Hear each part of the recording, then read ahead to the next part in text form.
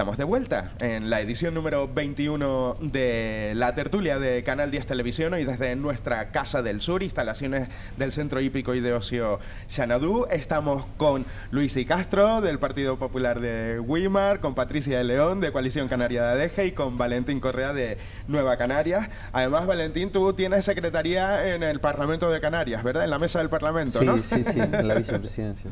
Bueno, eh, nos habíamos ido hablando de los efectos del domingo infernal y mm, con una frase tuya que decía que los agricultores son los arquitectos de, de nuestro paisaje y las arquitectas, ¿no? Sí, que está el 8 de marzo ahí Sin duda. cerquita, seguro que la semana que viene hablamos de ella, aunque es un tema habitual este de, el de la igualdad y la diversidad en esta casa. Bueno chicos, eh, no sé si em, algo más que, que valorar, por ejemplo, desde, desde ADG, cómo, cómo está la cosa de- del temporal. ¿Tú qué puedes contarnos, A ver, Patricia? yo lo mismo que la semana pasada, se, se sufrió en el municipio daños materiales importantes de los que todavía hoy nos estamos recuperando. Hay zonas que no, lo- todavía los servicios de limpieza o los chicos de, de obras, eh, los operarios no han llegado a la zona. Pero como decía Valentín, agradecidísima porque no hemos lamentado ningún daño personal. La cosa no pasó de, a ver, que fue grave, pero no pasó de unos hierros o de unos muros en el suelo, así que agradecidísima. La agricultura en las cumbres, pues mm, ¿Está out? desapareció. ¿Está fuera? Desapareció. Valentín decía, y me hizo recordar mi infancia de estas mujeres trabajadoras em, que, que llegaban a casa y yo soy hija de un agricultor, ahora él es, él es jardinero, pero mi padre explotaba una, una finca de tomates, mi madre trabajaba en, en una cadena hotelera mm, y llegaba vestida de señorita, como decía mi abuelo, se quitaba la ropa de señorita y iba a amarrar tomates, o sea que como dice Valentín, la- el sector agricultor, eh, de la agricultura tiene que estar protegido y no nos podemos olvidar de ese sector nunca, lo dije la semana pasada, lo vuelvo a decir hoy y no me cansaré de decirlo jamás. Es algo importante, nos olvidamos de ellos porque... mm, como dije también... No hacen l- ruido. Exacto, y que a ver, que las cosas ¿Verdad? no nacen en el Mercadona, ni los tomates, ni las lechugas, vienen de algún sitio deberíamos Exacto. Proteger ese sector que yo creo que es fundamental. Luis, ¿y cómo está en el valle la cosa? El, el valle está tranquilo, así que no nos tocó afortunadamente pues estas desgracias. Y además yo lo viví ese día, Valentín, porque eh, iba para, para Icó de los Vinos Ah, y era horror el, el- el viento que, que hacía de Tacoronte hasta San Juan de la Rambla, antes, un poquito antes de San Juan de la Rambla, pero era que te movía el coche y después allí en Icó de los Vinos, tranquilito. Estaba quieto. Estaba quieto, yo digo, madre mía, ¿cómo es? Y después al regreso tuvimos que pasar, bueno, pues por la parte toda sur Claro, claro. y porque Estaba cerrada la, cortada, ¿no? La- y éramos como pero ¿por ¿cómo va a estar cerrada la auto eh, para la autopista ¿Qué la es lo que está TF5 pasando, no? con fuego pero es que no y yo digo pero ¿y cómo pasa el fuego por la y, y bueno pues mira, Volaba. volaba volaba y, Sí, sí, y- sí, y- sí. Y bueno con respecto a la agricultura lo que sí hay que tener es la conciencia del agua. Eh, eh, el agua es fundamental para la agricultura es muy cara y eso sí que tenemos que, que yo siempre he hecho la crítica eh, a los políticos que tienen que ponerse las pilas en estos temas de eh, desaladoras y, y ver que es, es fundamental eh, el agua para el pequeño y mediano agricultor. Aguamangantes, en Canal 10 estamos con el ojito abierto. ¿eh? Acá, un día ahí- aparezco con un palo por ahí. Ahí sí pero, que- pero ese es un buen tema en, en esta isla con el que entenderíamos muchas cosas. Mm. ¿Mm? Oh, El agua es el un agua. bien, un bien público. bueno, vamos chicos a cambiar esto ya es de cosecha mía, que no sé si Canal 10 piensa lo mismo, pero bueno. Chicos, Carnaval Chicharrero y Calima, porque esta ha sido otra, es que claro, o sea, todo esto del domingo infernal tiene, si el coronavirus tiene vertiente sanitaria y socioeconómica, esto de- del temporal del domingo infernal eh, ha sido tremendo. La celebración del Carnaval de Día en Santa Cruz de Tenerife, bajo la declaración de alerta por Calima, ha provocado distintas reacciones en los partidos políticos. El Partido Popular pide una investigación, Coalición Canaria está pidiendo explicaciones y Unidas Podemos en el Cabildo dice que no vuelva a repetirse. Ahora sabremos qué piensan en, en Nueva Canaria. ¿Fue conveniente no suspender el carnaval de día en la jornada mm, esa jornada, que eh, tenía el aire más contaminado del globo terráqueo en la isla de, Tenerife, el gobierno de Santa Cruz solicitaba un protocolo de actuación, el Cabildo y el gobierno de Canarias se desmarcaron diciendo que no es necesario un protocolo para la calima y bueno, que la alerta estaba activa. Esa era una razón suficiente para suspender la, eh, la celebración del carnaval familiar al que iban muchos, muchos niños. Esto es lo que piensan dos representantes en la oposición en el Cabildo Insular de Tenerife. Escuchamos a Saida González, que es la portavoz del Partido Popular en eh, la Cámara Insular, y a Cori Llanes, que es eh, consejera por Coalición Canaria en el Cabildo de Tenerife. Desde el Partido Popular consideramos que ha sido una temeridad celebrar el carnaval de día el domingo, puesto que bueno, eh, la alerta eh, por la situación de Calima ya estaba prevista, el Cabildo recomendaba no salir a la calle, el, bueno, el día, el sábado anterior por la noche se habían suspendido los actos eh, a partir de las 12 de la noche y lo que no era lógico era que se volvieran a reactivar bueno, pues todos los actos del carnaval en la calle cuando la alerta por Calima no se había eliminado, no se había modificado. Y bueno, a lo largo de la mañana, lógicamente, la situación se fue poniendo peor y bueno, pues a posteriori con todos los incendios que se produjeron en el norte de la isla y con todos los riesgos que se produjeron, cierto es que hubiera sido un peligro mayor, pues bueno, pues acabar de suspender el carnaval de día una vez ya iniciado, ¿no? Pero no es menos cierto que lo lógico hubiera sido no haber celebrado el carnaval de día, con lo cual, pues bueno, pues no solo no se pone en riesgo a la población, sino que además, eh, bueno, pues se hubiera dispuesto de los servicios eh, de emergencia necesarios para poder hacer mejor eh, frente a los incendios que se produjeron. Creo que la situación de la calima y el carnaval de día es de una total irresponsabilidad y, de una falta de, coordinación, una falta de, coordinación que se ve evidentemente en los mensajes que, posteriormente se dieron, en el que el gobierno de Canarias decía que sí habían avisado y mientras que el ayuntamiento decía que no. Eso eh, es evidente, ¿no?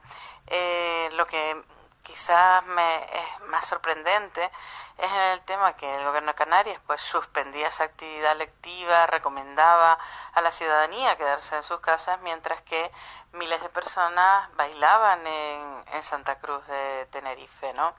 Yo creo que, y digo irresponsabilidad porque creo que se ha expuesto a muchas personas a, a una situación, pues creo que de salud bastante ¿no? importante, ¿no? Exponerlos a unos grados de contaminación eh, que yo creo que bueno que es una cuestión de, de valorar y, y, de analizar, por lo menos de, de investigar porque si ya se había suspendido el día antes el carnaval de día y no había ningún cambio en cuanto al tiempo, pues qué, qué decisiones, o, sea, qué, qué, fue lo que, lo que llevó a cabo a tomar eh, o cambiar esa decisión. Máxime también que, que también pues todo lo que son los servicios de, de seguridad en, en ese momento eh, yo creo que tenían que estar con la isla en el norte de Tenerife con los acontecimientos que se estaban dando. Eh, yo creo que fue pues una situación bastante complicada y tenía que mostrarse también esa solidaridad, pero sobre todo por seguridad de la ciudadanía. Eh, esa pues, es la, la, opinión y es la que nosotros desde Coalición Canarias pues estamos eh, analizando. Bueno, pues esto es lo que nos contaban distintos representantes de, distintos partidos políticos en el Cabildo de Tenerife, porque esto se está convirtiendo en, un asunto insular. Recuerden que eh, esta polémica está en el aire porque el norte de Tenerife se quemaba y a lo mejor los efectivos que estaban en la capital de la isla para... Mm, asegurar la seguridad de, de, todos los que allí estaban, deberían de haber estado prestando servicios en, en, el norte. Eso es lo que nos cuentan desde el Partido Popular y desde, y desde Coalición Canaria. Desde Nueva Canarias tienen posición sobre, sobre esto, Valentín. ¿Ustedes qué, qué opinan? Hombre, eh, evidentemente ante una alerta y los que hemos estado alguna vez eh, llevando algo de seguridad en alguna administración, como es el caso mío también, eh, pues evidentemente mm, como mínimo es bastante imprudente eh, y voy a usar ese término bastante imprudente, aunque es verdad que al final la, la, Junta Local de Seguridad es quien decide eh, si se celebra o no el acto y, tendrán ellos pues que depurar responsabilidades si las hubiera, pero como mínimo parece bastante imprudente que se celebre un acto tan multitudinario y tan masivo como un carnaval de día, porque evidentemente si es un acto menor, pues podrían valorarse otros términos, pues bueno, evidentemente estamos hablando de un acto muy multitudinario. Eh, sobre todo porque ya se decidió suspender la jornada anterior y yo creo que al día siguiente no había variado mucho. No, no, no, variaba nada. simplemente no había alerta por viento en Santa Cruz, pero sí por, por Calima y por aire irrespirable, ¿no? Y también va un poco en, en el debe nuestro como canario que nos apuntamos a un bombardeo, también decir que las advertencias y, y, las recomendaciones también son para la población civil.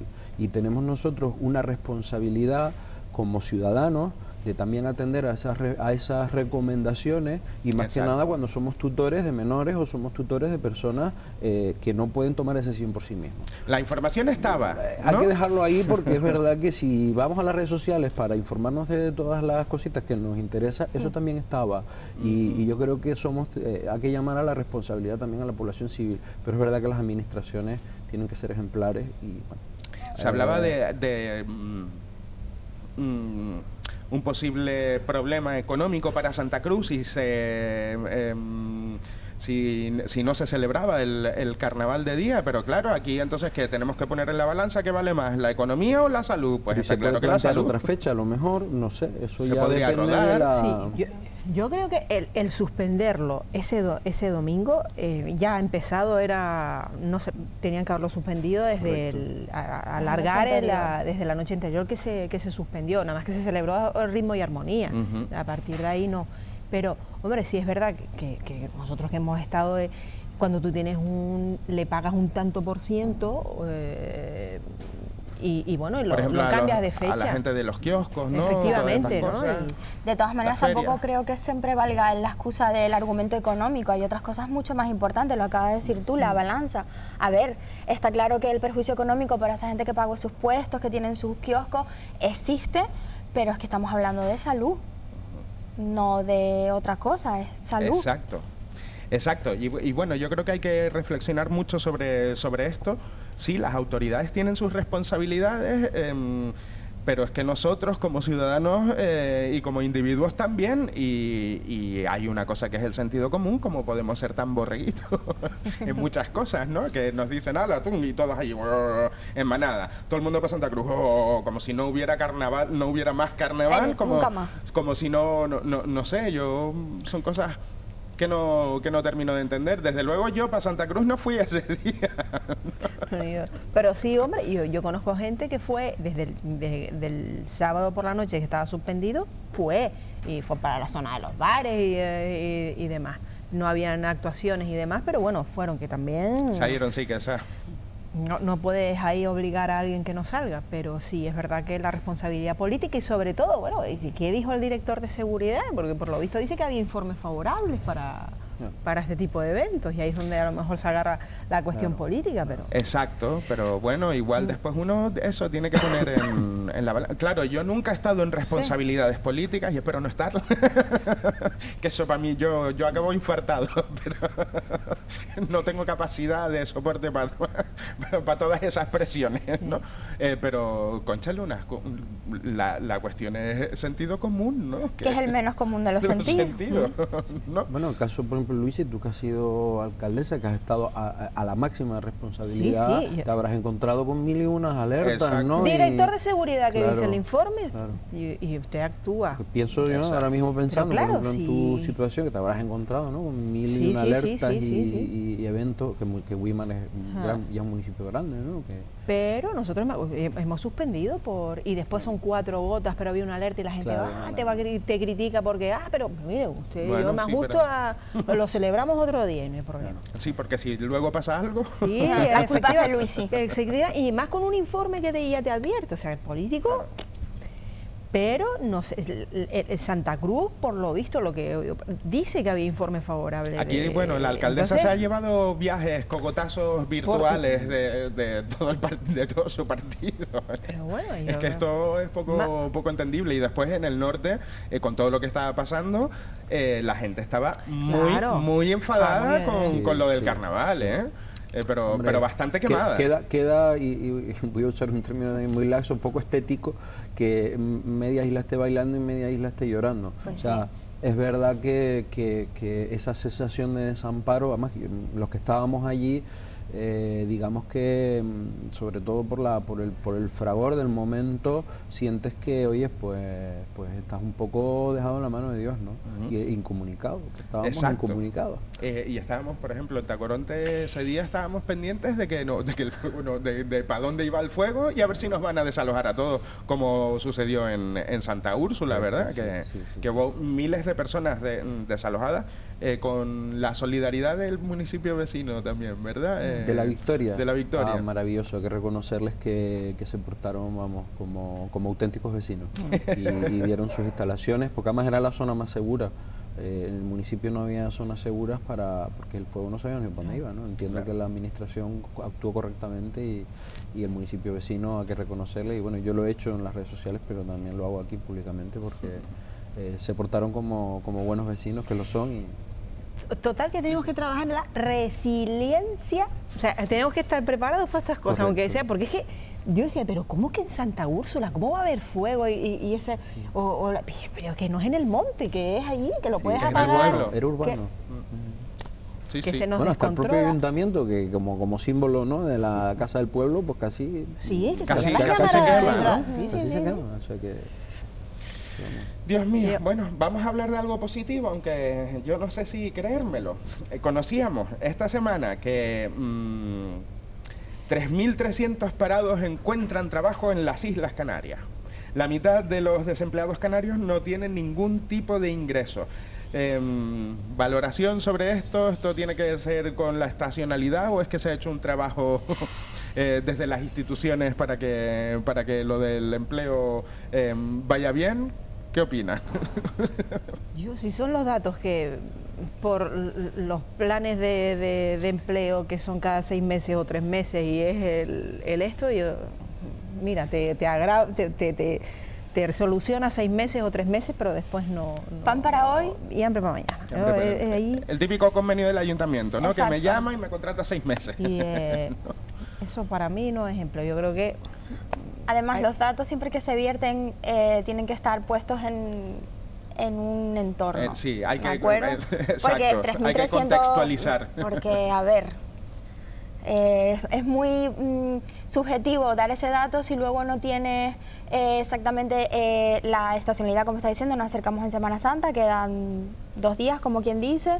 En mayo empieza ya la actividad turística a llegar, por lo menos aquí al sur, con lo cual, mm, sí, los PFAE, todas estas cosas hay que tenerlo en cuenta.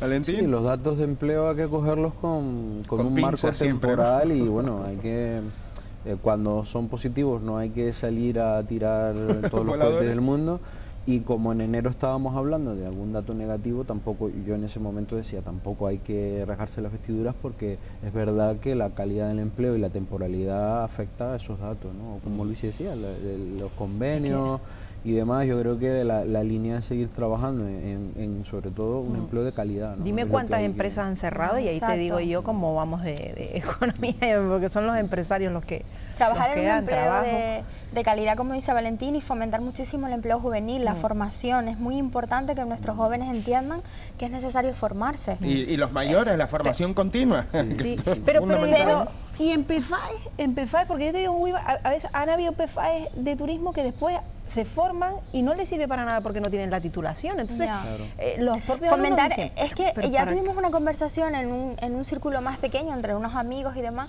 que hay que fomentar un poco y darle valor a la formación profesional, que está muy relacionado con el PFAE. A ver, no todo el mundo tiene por qué tener una carrera universitaria, no todo el mundo, porque a lo mejor hay, hay otros... Eh, yo tengo una amiga que tiene una, una, hija que va a cumplir los 18 que está estudiando para pastelera y me encantaría eh, que la escucharais hablar porque de verdad lo hace con pasión. A ver, que yo la miro y le digo, ni de coña.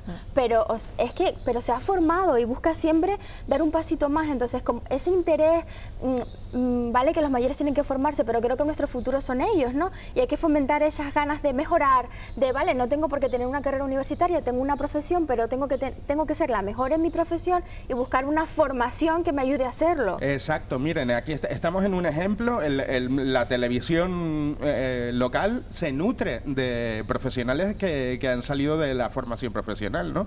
y es un campo enorme en el que hay muchos están los grados medios, los grados superiores y es muy digno eh, eh, todo esto, es súper chachi trabajar en la tele. Eh, con, la explotación de cine que estamos teniendo en Canarias, es que, es que, vamos a buscar que, tengan salida los jóvenes que se en atractivo formativo, no siempre lo mismo, lo mismo, porque... Y aquí hay una industria que aquí tenemos que empezar a que a lo mejor se ha hecho algo, pero es la, industria audiovisual y sobre todo el diseño 3D, etcétera, etcétera, eso es industria eh, del conocimiento con mucho valor añadido, con poca huella ecológica em, y, que yo creo que, estamos haciendo aquí. Si el turismo se nos va, si la gallinita el turismo hay que meterla en el caldero porque... Que lo mismo que tenemos sol nos puede venir ya viento, agua y nos quedamos, se nos cambia el clima. Volver polares de repente, claro. y sobre todo el sector de industrial y servicio. Industrial y servicios. Que, que todo dependemos casi todo de fuera, que viene, que entre, y tú dices, aquí no se produce... Y no producimos ni para comer. Bueno, producir aguacates y plátanos va a ser mm, difícil en, en el norte de Tenerife. Y les digo esto porque ha llegado el tiempo ya de los aguacates de oro y, plata, y cáscaras de plátano, se nos ha ido el tiempo volando eh, me toca entrevista ahora, chicos, eh, pero yo quiero que, empecemos. Me da, me da esta pena porque se, mm, me ha hecho súper corto. Muy interesante todo lo que hemos todo lo que hemos estado hablando. Valentín, aguacate, aguacate de oro, cáscara de plátano, ¿a quién se la das esta semana? Bueno, eh, no me queda más, es que tengo la obligación de hacerlo, de darle el aguacate de oro a, a todas aquellas personas que el domingo pasado estuvieron eh, luchando contra el fuego en mi municipio, ayudando a mis vecinos, eh, a mis vecinas y, y, hacer un, remarcar mucho el papel de, la, ciudadanía, de, estos vecinos y vecinas que se partieron el hombro por, ayudar al que tenían al lado, al que tenían enfrente y de verdad que que mi máximo reconocimiento para todos ellos porque eh, salvaron vidas y salvaron de, que esto fuera, evitaron que hubiera un drama mucho mayor. ¿Se suma Canal 10 a este, a este aguacate de oro y cáscara de plátano? Pues en este caso a los medios que desinforman a los medios que están desinformando con, toda la problemática esta del coronavirus, con toda esta situación excepcional que antes decía, y, ahí va mi, mi, rastrillacillo y mi cascarita de plátano, porque bueno, yo creo que, los medios deben de informar y no deben de, crear sensacionalismo. Hablábamos de medios rotativos británicos, pero también otros de dudosa procedencia que, que son más cercanos a nosotros. Sí, que es difícil ese equilibrio entre la información y el espectáculo Mm, y, a veces uno no mide por, con el afán de contar todo primero, uno no mide qué consecuencias puede, puede tener eso, ¿verdad? Mm. Y, bueno, mm, esto ya es una cuestión de manual de estilo de, de, Canal 10. A lo mejor aquí preferimos no contarle nada hasta que las, los pelos de la burra estén bien ataditos en la mano, que esta es una expresión que les gusta mucho a algunos. Así que ahí lo, dejamos. Patricia, cáscara de plátano, eh, aguacate de oro. a ver, yo cáscara de plátano se le iba a dar, como dice Valentín, también lo hice la semana pasada, esos medios de información o personas con difusión eh, que tienen esa, esa capacidad de difundir información que lo hacen, como dices tú, sin tener los pelos de la burra bien cogidos, ¿vale? Y mi aguacate de oro, eh, y dado que estamos muy cerquita del 8 de marzo, se lo quiero dar a todas aquellas mujeres trabajadoras, ya sea fuera o dentro de casa.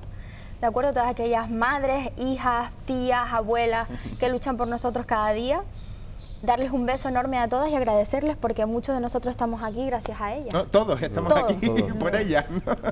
Todos, es sin ellas, sin ellas no, somos nada. Así que nos sumamos, Canal 10 se suma a ese, a ese aguacate de, de oro. ¿Y cáscara de plátano? Lo he dicho, lo he dicho, a los medios de información, que me copié de Valentín, ya lo dije la semana pasada. me reiteró el mensaje. Sí, Todavía, toda- es que me molesta un montón esa me- alarma. Me reiteró el mensaje y Sí. Muy bien, muchas gracias Patricia por estar aquí con, con nosotros. A ¿Vi algo falso? Luis, sí. Ya gané, que padre.